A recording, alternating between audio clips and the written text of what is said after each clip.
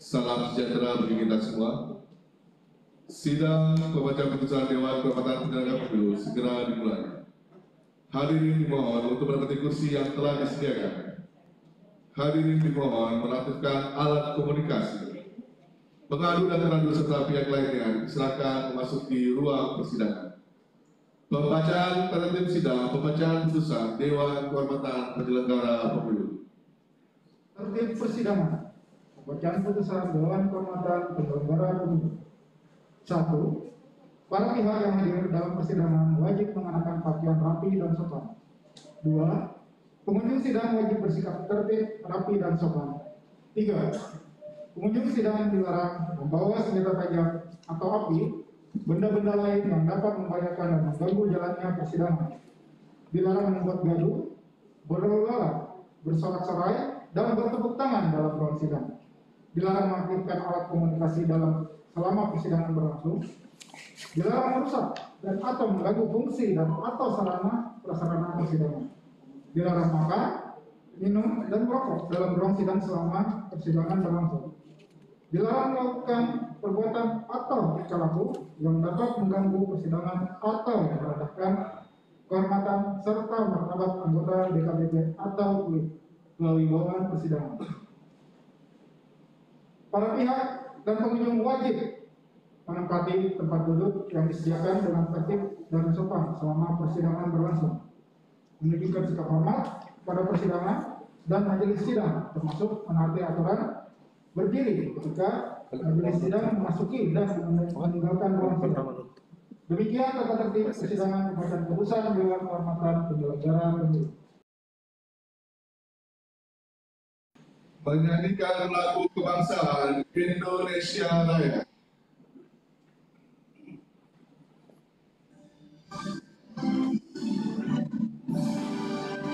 Hadirin silakan. Bismillahirrahmanirrahim. Assalamualaikum warahmatullahi wabarakatuh. Selamat pagi dan salam sejahtera semuanya. Pagi ini Rabu Agustus tahun 2020 Dewan Kehormatan Indonesia akan melaksanakan pembacaan putusan dengan ini dengan ucapan Bismillahirrahmanirrahim sidang dan putusan DKPP saya buka secara resmi dan terbuka untuk umum. Bapak-bapak dan ibu anggota majelis yang saya hormati, pagi ini Dewan Kehormatan akan membaca putusan sidang. Yang dikerjakan oleh Yang Mulia Profesor Budi Prasetyo kemudian yang mulia Supriyanto SDP MIP dan yang mulia Dr. Ida Mulyadi SHMK yang insya Allah Ida Mulyadi akan hadir secara virtual.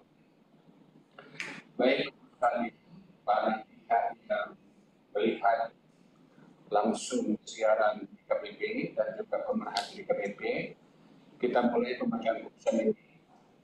Untuk pertama adalah perkara 49 dengan terkandung Bawaslu Kabupaten Tobasa dan Panwasca yang akan dibacakan oleh Yang Mulia Profesor Teguh Prasetyo dan Yang Mulia Didi Subianto SPP. Kami persilakan Yang Mulia Profesor Teguh. Bapak Ibu sekalian yang saya hormati, selanjutnya urutan keempat yang terakhir dengan nomor perkara 60 2020 dengan teradu KPU RI dan KPU Kabupaten Sumba Barat Daya yang akan dibacakan oleh Yang Mulia Didi Supriyanto dan Yang Mulia Profesor Teguh Prasetyo. Kami persilakan Yang Mulia Didi Supriyanto. Putusan nomor 60 PKI DKPP Romawi 6 2020 Dewan Kehormatan Penyelenggara Pemilu Republik Indonesia demi keadilan dan kehormatan penyelenggara pemilu memeriksa dan memutus pada tingkat pertama dan terakhir pengaduan nomor 64P dan seterusnya yang diregistrasi dengan perkara nomor 60 PKI dan seterusnya menjatuhkan putusan atas dugaan pelanggaran kode etik penyelenggara pemilu yang diajukan oleh pengadu nama Emmanuel Eka. Pekerjaan wira swasta alamat TU Kapaka Taworara Desa Werena Kecamatan Kota Tambolaka, Kabupaten Sumba Barat Daya, Provinsi Nusa Tenggara Timur. Terhadap Radu, satu, nama Hari Budiman. Dua, Pramono Ubaid Tantowi. Tiga, Elham Saputra. Empat, Ferian. Lima, Hashim Asyari. Masing-masing sebagai ketua dan anggota Komisi Pemilihan Umum yang beralamat di Jalan Imam Bonjol nomor 29 Jakarta Pusat. Selanjutnya masing-masing disebut sebagai teradu 1, teradu 2, teradu 3, dan teradu 4 serta teradu 5. 6. Nama Hieronymus Malela, jabatan anggota Komisi Pemilihan Umum Kabupaten Sumatera maaf Kabupaten Sumba Barat Daya. Alamat kantor Jalan Poma Desa Kadipada, Kecamatan Kota Tambolaka, Kabupaten Sumba Barat Daya, Provinsi Nusa Tenggara Timur. Selanjutnya disebut sebagai Teradu 6. Teradu 1, 2, 3, 4, 5, dan Teradu 6 selanjutnya disebut sebagai para teradu. Membaca pengaduan pengadu, mendengar keterangan pengadu, mendengar jawaban para teradu, memeriksa dan mendengar keterangan saksi, mendengar keterangan pihak terkait, dan memeriksa dan mempelajari dengan seksama segala bukti yang diajukan pengadu dan para teradu. Duduk perkara, kewenangan DKPP dan kedudukan hukum pengadu dianggap telah dibacakan. Pertimbangan hukum, maaf, pertimbangan putusan, menimbang jawaban dan keterangan para pihak bukti dokumen serta fakta yang terungkap dalam sidang pemeriksaan DKPP berpendapat bahwa dalam penetapan 10 besar calon anggota Komisi Pemilihan Umum Kabupaten Kota se-Provinsi Nusa Tenggara Timur periode 2019-2024 yang dilaksanakan oleh tim seleksi sebagaimana berita acara nomor 16 dan seterusnya dan pengumuman nomor 17 dan seterusnya tanggal 12 Desember 2018 terdapat nama Carolina Dapamoda tidak memenuhi syarat sebagai peserta seleksi sehingga tidak dapat mengikuti tahapan uji kelayakan dan kepatutan. Berdasarkan hasil tes psikologi, Carolina Dapa Moda tidak direkomendasikan sehingga teradu 1, teradu 2, teradu 3, teradu 4, dan teradu 5 mengambil kebijakan untuk mengoreksi penetapan hasil seleksi anggota Komisi Pemilihan Umum Kabupaten Sumba Barat Daya yang dapat mengikuti uji kelayakan dan kepatutan. Hal ini sesuai dengan ketentuan pasal 35 peraturan KPU nomor 7 tahun 2018 tentang seleksi anggota KPU Provinsi dan KPU Kabupaten Kota yang mengalami beberapa kali perubahan terakhir dengan peraturan KPU nomor 27 tahun 2018 tentang perubahan kedua atas peraturan KPU nomor 7 tahun 2018 tentang seleksi anggota KPU Provinsi dan KPU Kabupaten Kota yang pada pokoknya mengatur supervisi dan monitoring oleh KPU. Tindakan teradu 1, teradu 3, teradu, maaf, tindakan teradu 1, teradu 2, teradu 3, teradu 4, dan teradu 6 mencoret nama Carolina Dampa dampak moda karena berdasarkan hasil tes psikologi dinyatakan tidak direkomendasikan dan memasukkan nama Tradu 6 ke dalam 10 besar sebagai calon anggota KPU Kabupaten Sumba Barat Daya yang berdasarkan hasil tes psikologi dinyatakan dapat dipertimbangkan dapat dipertimbangkan dengan alasan memperhatikan keterwakilan 30 persen perempuan sebagaimana diatur pasal 10 ayat 7 Undang-Undang nomor 7 tahun 2017 masih terpenuhi dengan adanya peserta perempuan yakni Eni Pengastuti. Kebijakan tersebut berbeda dengan perkara nomor 39 PKE DKPP Romawi 3 2019 Teradu satu tetap meloloskan Selvi Katili selaku anggota KPU Provinsi Gorontalo meskipun hasil tes tulis dengan metode CAT yang bersangkutan berada di bawah ambang batas nilai kelulusan sebagaimana disyaratkan. Teradu satu beralasan tindakan tersebut dilakukan untuk memenuhi keterwakilan perempuan 30% dalam seleksi anggota KPU Provinsi Gorontalo Hal ini membuktikan teradu satu, teradu dua, teradu tiga, teradu empat, teradu lima tidak, mem tidak mempunyai konsep yang jelas tentang kebijakan afirmasi baik dalam bentuk peraturan KPU maupun petunjuk pelaksanaan dan petunjuk teknis untuk memberi pedoman mekanisme dan prosedur implementasi kebijakan keterwakilan 30% perempuan dalam seleksi anggota KPU provinsi maupun KPU kabupaten kota. Hal tersebut menyebabkan tidak adanya jaminan kepastian hukum bagi semua peserta seleksi mengenai mekanisme dan prosedur pelaksanaan kebijakan keterwakilan 30% perempuan, baik pada proses seleksi di tingkat tim seleksi maupun pada penetapan calon terpilih anggota KPU provinsi atau KPU kabupaten kota oleh KPU. Terkait hal tersebut, untuk ke depannya DKPP perlu mengingatkan kepada teradu 1, teradu 2, teradu 3, teradu 4, dan teradu 5 untuk mengatur secara jelas dan terperinci mekanisme dan prosedur pelaksanaan kebijakan keterwakilan 30% perempuan dalam proses seleksi anggota KPU Provinsi dan Kabupaten Kota.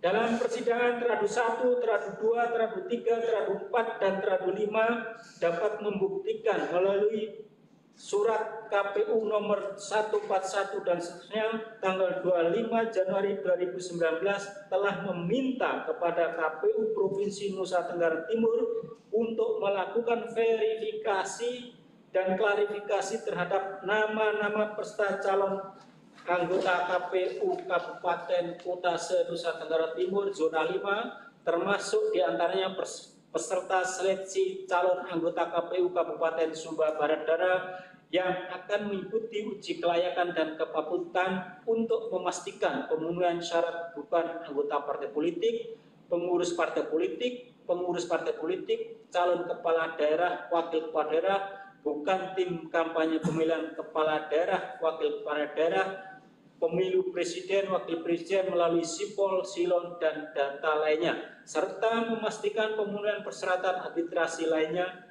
hasil verifikasi dan klarifikasi tersebut dilakukan ke KPU.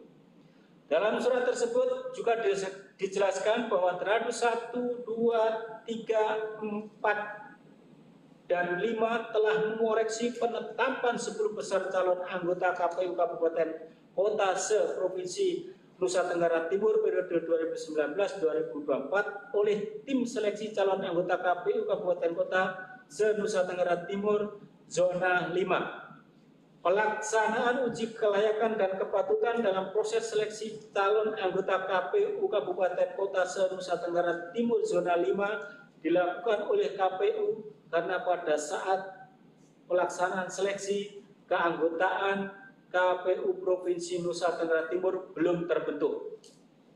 Adapun pengganti Carolina Dapamoda yaitu Tradu 6 Hieronymus Malela berada di urutan 10 peserta seleksi calon anggota KPU Kabupaten Sumba Barat Daya periode 2019-2024 yang dapat mengikuti uji kelayakan dan kepatutan. Dicantumkannya Tradu 6 Hieronymus Malela ke dalam urutan ke-10 untuk menunjukkan bahwa nama Teradunam merupakan hasil koreksi. Namun demikian, sepatutnya Teradu 1, 2, 3, 4, dan 5 tetap memperhatikan konsistensi ketentuan dalam peraturan KPU nomor 7 tahun 2018 tentang seleksi anggota KPU provinsi dan kabupaten kota yang telah mengalami beberapa kali perubahan terakhir dengan peraturan KPU nomor 27 tahun 2018 tentang perubahan kedua atas peraturan KPU nomor 7 tahun 2018 tentang seleksi anggota KPU provinsi dan KPU kabupaten kota. Pasal 26 ayat 2 yang berbunyi penyampaian nama calon sebagaimana dimaksud pada ayat 1 disusun berdasarkan abjad disertai rekapitulasi hasil seleksi dan salinan berkas administrasi setiap calon anggota. Dengan penyerahan 10 nama oleh tim seleksi kepada teradus 1, 2, 3, 4, dan 5, maka tugas dari tim seleksi sudah berakhir. Dalam laporan tim seleksi berkenaan dengan Kabupaten Sumba Barat Daya khususnya teradu 6 hanya terdapat catatan yaitu calon komisioner atas nama Hidronimus Malela masuk dalam 10 besar tetapi tidak direkomendasikan dari 10 nominator calon komisioner Komisi Pemilihan Umum Kabupaten Sumba Barat Daya. Tim seleksi menerima pengaduan keterlibatan aktif yang bersangkutan karena mendukung salah satu pasangan calon bupati dan wakil bupati Kabupaten Sumba Barat Daya yang didukung PDI Perjuangan dalam pemilihan bupati dan wakil bupati tahun 2018. Catatan tersebut disampaikan tanpa disertai dokumen pendukung yang menguatkan dugaan keterlibatan sebagai pendukung pasangan calon bupati dan wakil bupati Kabupaten Sumba Barat Daya Selain itu, tidak ada upaya tim seleksi zona 5 untuk menindaklanjuti hal tersebut dengan melakukan konfirmasi kepada teratus 1, 2, 3, 4, dan 5. Tim seleksi menganggap hal tersebut hanya akan menguras energi dan membiarkan hal tersebut menjadi kewenangan teratus 1, 2, 3, 4, dan 5. Mengingat terdapat catatan tim sel atas teradu 6 didasarkan pada pengaduan masyarakat teradu 1, 2, 3, 4, dan 5 seharusnya melakukan klarifikasi kepada tim sel sebagaimana diatur pada pasal 15 peraturan KPU nomor 25 tahun 2018 tentang perubahan atas peraturan KPU nomor 7 tahun 2018 tentang seleksi anggota KPU provinsi dan KPU kabupaten kota. Dalam persidangan terhadap 1, 2, 3, 4, dan 5 menyatakan tidak melakukan klarifikasi karena masa jabatan, masa jabatan tim sel telah berakhir dan tidak terdapat dokumen pendukung atas catatan tim sel. Dimensi waktu yang dijadikan alasan terhadap 1, 2, 3, 4, dan 5 tidak memungkinkan untuk mengkonfirmasi atau melibatkan tim seleksi berkenaan dengan koreksi terhadap 10 nama yang diajukan oleh tim seleksi tidak relevan mengingat tim sel menetapkan 10 nama calon anggota KPU Sumba Barat Daya pada tanggal 12 Desember. Sementara hasil koreksi dilakukan terhadap 1, 2, 3, 4, dan 5 diserahkan pada Sekretariat KPU Provinsi Nusa Tenggara Timur pada 20 5 Januari 2018, eh, maaf 2019. Berdasarkan hasil uji kepatutan dan kelayakan terhadap 1, terhadap 2, 3, 4, dan 5 kemudian menetapkan 10 calon anggota KPU Kabupaten Sumba Barat Daya periode 2019-2024 terpilih yang diurutkan berdasarkan ranking untuk selanjutnya peringkat 1 sampai 5 dilantik menjadi anggota KPU Kabupaten Sumba Barat Daya periode 2018-2023 sebagaimana keputusan KPU nomor 348 dan seterusnya tanggal 1 Februari 2019 tentang pengangkatan anggota KPU Kabupaten Sumba Barat Daya periode 2018-2024. Berdasarkan hal tersebut, dalil aduan pengadu tidak terbukti dan jawaban teradu 1, 2, 3, 4, dan 5 meyakinkan DPP. Meski demikian, berdasarkan fakta persidangan, DPP memandang perlu mengingatkan terhadap 1, 2, 3, dan 4 dan 5 untuk merumuskan standar pengumuman syarat kemandirian yang dapat menjangkau berbagai varian pelaku etik berkaitan dengan pemenuhan prinsip kemandirian penyelenggara pemilu. Bahwa Teradu 6 telah ditetapkan sebagai anggota Komisi Pemilihan Kabupaten Sumba Barat Daya periode 2019-2024 berdasarkan keputusan Komisi Pemilihan Umum nomor 348 dan seterusnya tanggal 1 Februari 2019 tentang pengangkatan anggota Komisi Pemilihan Umum Kabupaten Sumba Barat Daya periode 2019-2024 terkait pokok aduan bahwa Teradu 6 terlibat sebagai anggota tim pemenangan salah satu pasangan calon kepala daerah. Teradu 6 menjawab bahwa pada tahun 2018 Teradu 6 bukan penyelenggara pemilu dan tidak termasuk anggota tim pemenangan pasangan calon nomor urut 3 paket kontak hubungan Teradu 6 dengan anggota tim pemenangan pasangan calon nomor 3 nomor urut 3 paket kontak hanya sebatas kinerja secara profesional berdasarkan kontrak sebagai operator komputer atau IT. Hal ini sesuai dengan surat tim pemenangan paket kontrak Kabupaten Sumba Barat Daya nomor 017 dan seterusnya tertanggal 9 April 2018 dan surat perjanjian kerja nomor 019 dan seterusnya tertanggal 19 April 2018 bahkan alat bukti berupa foto yang disampaikan oleh pengadu dalam dalam sidang pemeriksaan terlihat pada saat masa kampanye teradu 6 memakai topi bertulis kontak dan berpose dengan para relawan pasangan calon nomor urut 3 paket kontak serta menunjukkan jari yang identik dengan simbol pasangan calon nomor urut 3 paket kontak. Teradu Nam mengakui tindakan tersebut dilakukan karena merasa jenuh mengurus data, sehingga sepupunya yang merupakan relawan pasangan calon nomor urut 3 paket kontak mengajak berjalan-jalan dan foto dengan para relawan di sekitar tempat kampanye. DKPW menilai tindakan teradu 6 tidak mencerminkan sikap profesional sebagai seorang yang telah terikat dalam perjanjian kerja. Teradu 6 seharusnya mampu memisahkan tugas sebagai tenaga profesional fokus pada pengolahan data dengan kegiatan kampanye. Teradu 6 secara tidak langsung menunjukkan adanya hubungan emosional antara dengan tim pemenangan pasangan calon nomor urut 3 paket kontak.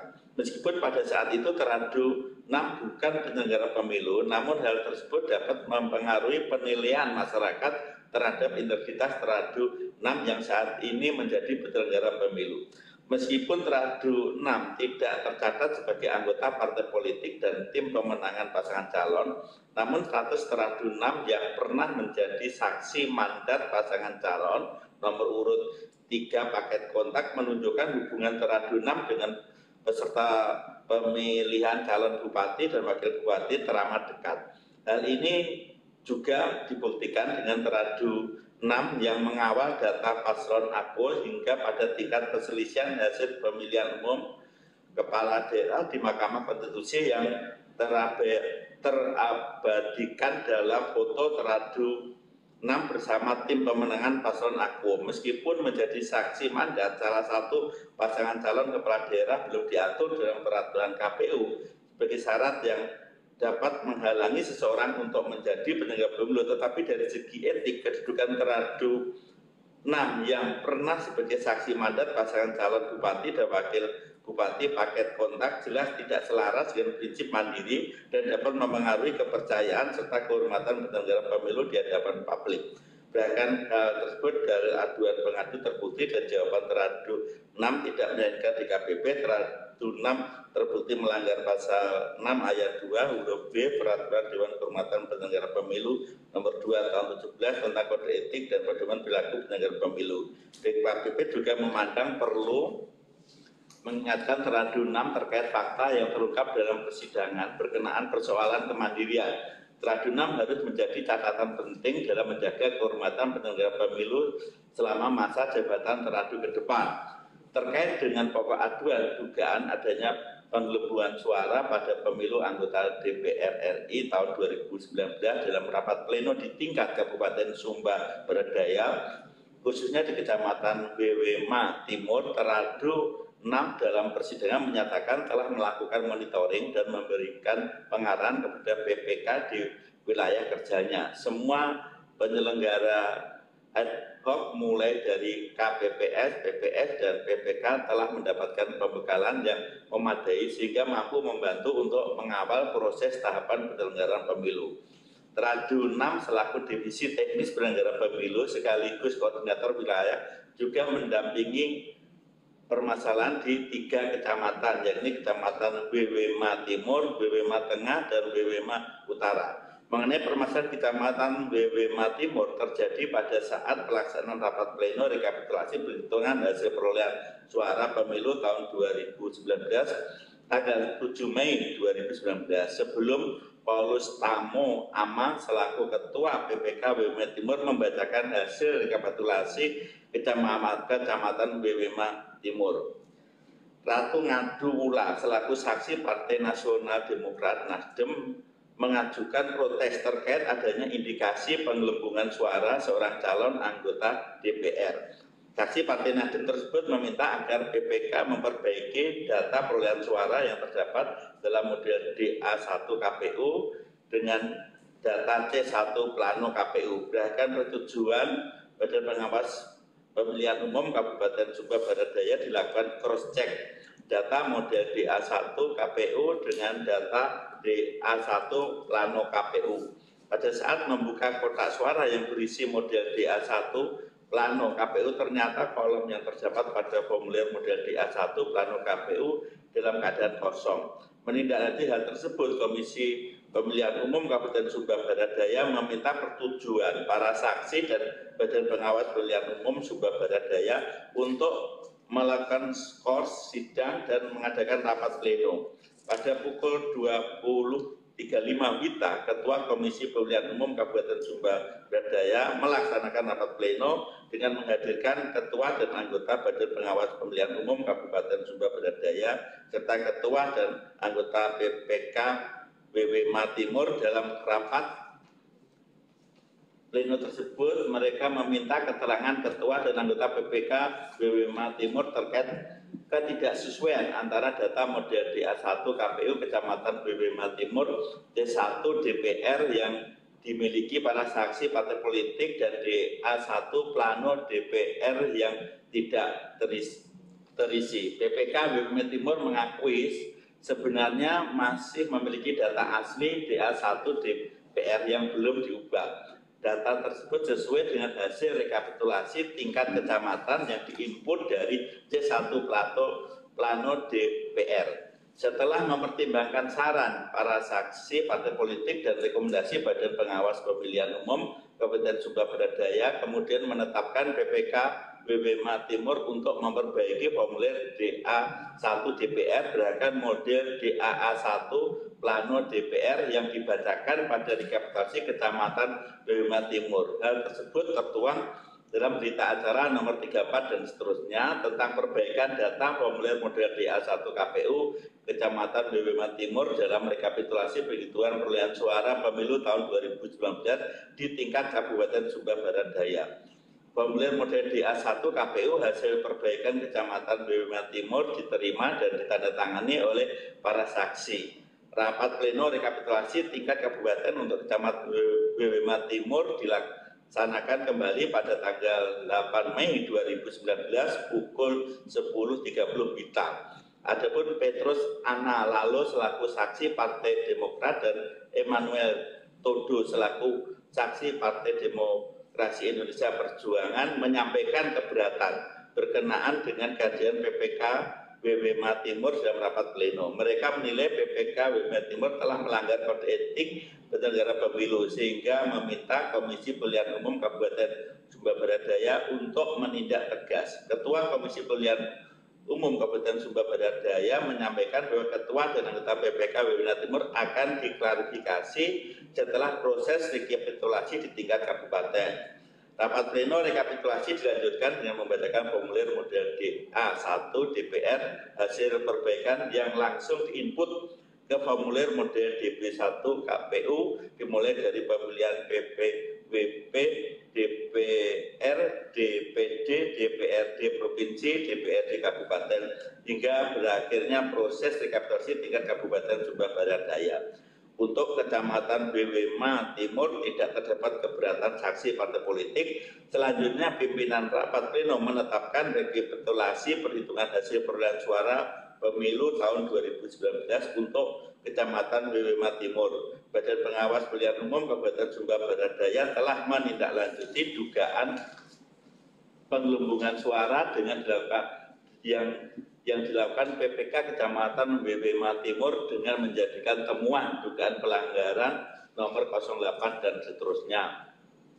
Jenderal Gapundu Badan Pengawas Pemilihan Umum Kabupaten Sumba Barat Daya kemudian melakukan klarifikasi terhadap ketua dan anggota PPK Kecamatan Bewema Timur para saksi partai politik teradu 6. Berdasarkan hasil klarifikasi ketua dan operator PPK Kecamatan Bewema Timur mengakui dengan sengaja melakukan perubahan angka perolehan hasil suara untuk DPR RI sesuai dengan permintaan seorang caleg DPR RI fraksi Partai Kebangkitan Bangsa. Bawaslu Kabupaten Sumba Barat Daya kemudian melimpahkan kepada penyidik kepolisian karena telah memenuhi unsur dugaan pelanggaran. Bahkan hal tersebut dari aduan pengadu tidak terbukti dan jawaban para teradu 6 meyakinkan di KPP menimbang terhadap dalil pengadu selebihnya di KPP tidak relevan untuk mempertimbangkan. Kesimpulan, berdasarkan penilaian atas fakta dalam persidangan berbeda diuraikan di atas setelah memeriksa keterangan pengadu, memeriksa dan mendengar jawaban para teradu,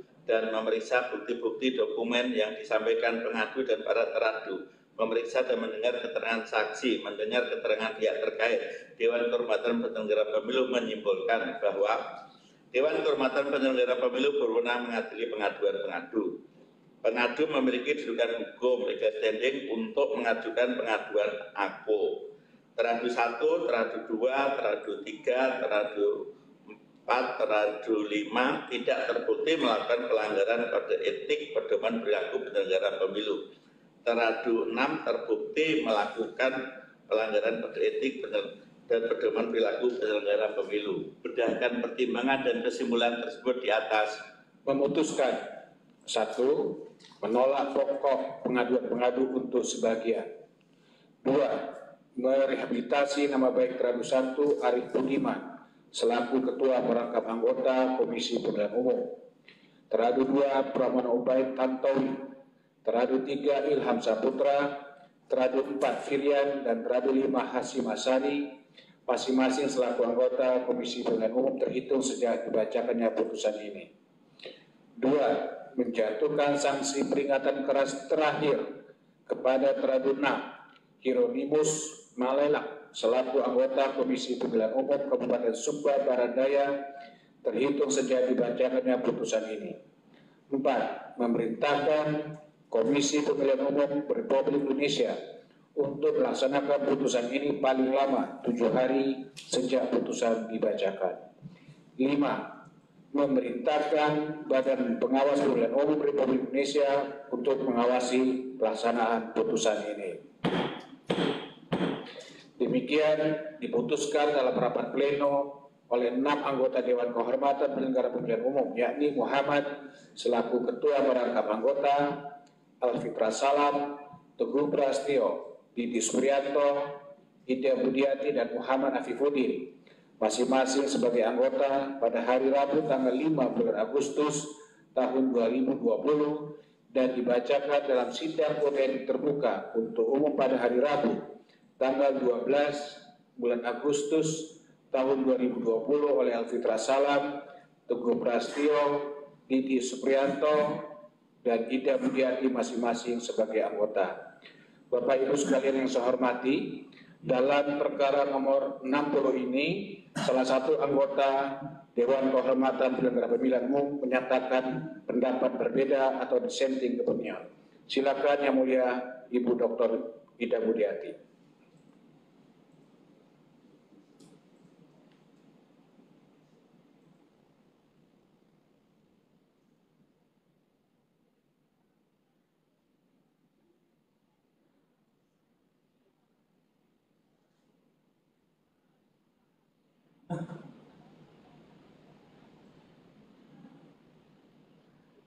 Sukses dan saksi pasangan calon nomor urut 3 dan rapat pleno rekapitulasi Pilkada Sumba Baradaya tahun 2018. Dalam sidang pemeriksaan terungkap fakta Teradu 6 mengakui pernah menjadi saksi mandat pasangan calon nomor urut 3 paket kontak. Teradu 6 berdalih hubungannya dengan anggota tim pemenangan pasangan calon nomor urut 3 hanya sebatas kerja profesional berdasarkan kontrak sebagai operator komputer atau IT. Dalih dan alat bukti teradu 6 berupa surat tim pemenangan paket kontak Kabupaten Sumba Baradaya nomor 017 dan seterusnya tanggal 9 April 2018 dan surat perjanjian kerja nomor 019 dan seterusnya tanggal 19 April 2018 terbantahkan oleh alat bukti pengadu yang disampaikan dalam sidang pemeriksaan berupa foto. Dalam alat bukti tersebut, teradu 6 memakai topi bertuliskan kontak dan berpose dengan para relawan pasangan calon nomor 3 pakai kontak serta menunjukkan jari yang identik dengan simbol pasangan calon nomor 3 pada masa kampanye. Teraduna mengakui tindakan tersebut dan berdalih merasa jenuh mengurus data sepupunya yang merupakan relawan pasangan calon nomor urut 3 mengajak berjalan-jalan dan berfoto dengan para relawan di sekitar tempat kampanye.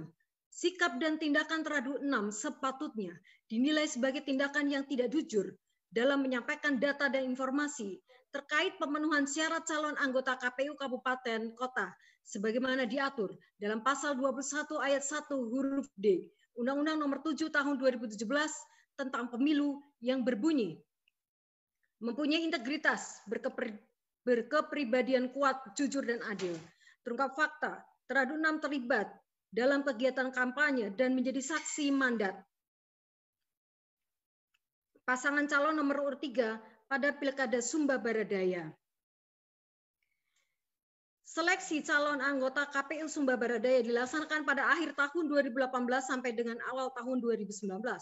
Meskipun teradu 6 tidak tercatat sebagai anggota partai politik, sebagaimana ketentuan pasal 21 ayat 1 huruf I Undang-Undang Nomor 7 Tahun 2017 dan tim pemenangan pasangan calon, namun teradu enam terbukti sebagai tim pemenangan pilkada yang dibuktikan dengan dokumentasi foto kampanye pasangan calon Bupati dan Wakil Bupati tahun 2018, saksi mandat pasangan calon nomor 3, serta mengawal data pasangan calon aku dalam perselisihan hasil pemilu di Mahkamah Konstitusi. Sesuai ketentuan pasal 21 ayat 1 huruf D Undang-Undang Nomor 7 Tahun 2017, teradu 6 tidak memenuhi syarat sebagai anggota KPU Sumba Baradaya. Penilaian terhadap fakta dan alat bukti tersebut sepatutnya menggunakan paradigma rule of ethic sehingga dapat dilihat pola hubungan etika dan hukum. Ruang lingkup etika lebih luas sehingga harus dimaknai sebagai basis sosial bekerjanya hukum. Hukum pemilu yang mewadai formulasi norma peraturan perundang-undangan tidak memadai sebagai satu-satunya andalan untuk menopang maksud pembentuk undang-undang untuk mewujudkan kemandirian penyelenggara pemilu sebagaimana diamanatkan pasal 22E ayat 5 Undang-Undang Dasar Negara Republik Indonesia tahun 1945. Untuk itu, doktrin rule of law harus dilengkapi dengan rule of ethics sehingga dapat menjamin penerapan aspek filosofis, asas dan prinsip penyelenggara pemilu yang mandiri. Kedudukan teradu 6 sebagai saksi mandat pasangan calon bupati dan wakil bupati paket kontak tahun 2018 jelas tidak selaras dengan prinsip mandiri sehingga layak diberi sanksi pemberian tetap sebagai anggota KPU Kabupaten Sumba Baradaya periode 2019-2024. Dr. Ida Budiati yang telah membacakan dissenting opinion atau pendapat berbeda dengan anggota DKPP yang lain. Baik Bapak Ibu sekalian, setelah pembacaan putusan dissenting opinion, selesai sudah pembacaan putusan kita sejumlah empat perkara. Saya sebagai Ketua Majelis mengucapkan terima kasih kepada anggota Majelis Yang Mulia Profesor Dr. Teguh Prastio, yang Mulia Gidi Supriyanto, SIP, dan Yang Mulia Dr. Ida Budiati, SH. Bapak Ibu sekalian yang saya hormati, para pihak, khususnya untuk keperluan salinan putusan, silakan berhubungan dengan bagian persidangan DKPP se- melalui koordinasi yang sudah dilakukan. Bapak Ibu sekalian yang saya hormati, dengan ucapan Alhamdulillahirrahmanirrahim, pembacaan putusan DKPP pada hari Rabu tanggal 12 Agustus tahun 2020 dengan ini saya nyatakan ditutup secara resmi. Hadirin, silakan berdiri.